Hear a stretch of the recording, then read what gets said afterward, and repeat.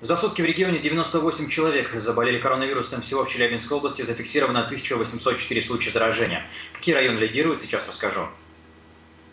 Больше всего заболевших коронавирусной инфекцией зарегистрировано в Челябинске 516 случаев. На втором месте Магнитогорск. Медики там нашли COVID-19 у 467 пациентов.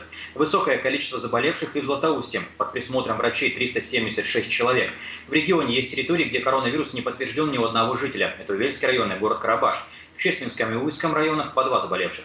За прошедшие сутки от ковидной пневмонии умер один человек. Это женщина 48 лет. Всего с начала пандемии скончался 21 пациент. У больше половины коронавирус был сопутствующим заболеванием и усугубил протекание хронической болезни.